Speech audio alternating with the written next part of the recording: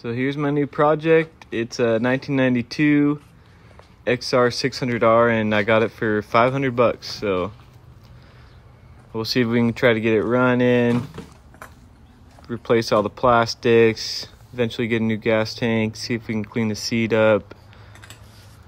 But yeah, I'm hoping it runs good and uh, it's been sitting for like six years. So we'll see what happens. Definitely dusty and grimy try my best to record everything and update the progress on here. So that's it. Old uh, the 1992 XR 600R.